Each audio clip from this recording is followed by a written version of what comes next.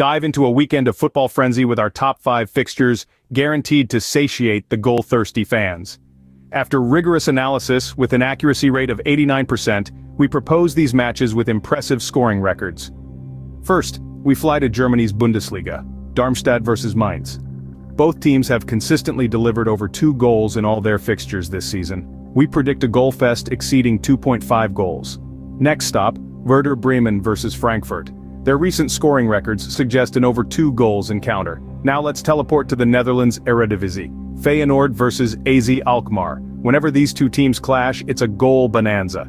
Expect an easy over two goals. Back to Germany's Bundesliga 2. Paderborn versus Nuremberg. Both teams have been raining goals this season so we predict over 2.5 goals. Finally, Belgium's Jupiler League beckons. Antwerp versus Standard Liège. Both teams are either scoring or conceding lately. Expect an over 2 goals match. Remember, there's a difference between over 2.5 goals and over 2 goals. And while our predictions are not 100% accurate, they're certainly worth considering. Enjoy the football weekend and for more, follow and like us.